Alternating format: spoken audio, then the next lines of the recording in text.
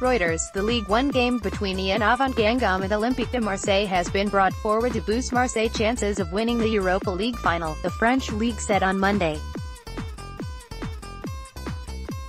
Marseille play Atletico Madrid in the Europa League final on May 16 in the French city of Lyon.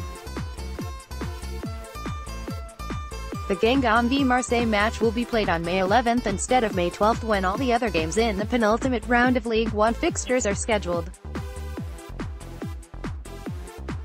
Guingamp agreed to bring the game forward for the interest of French football.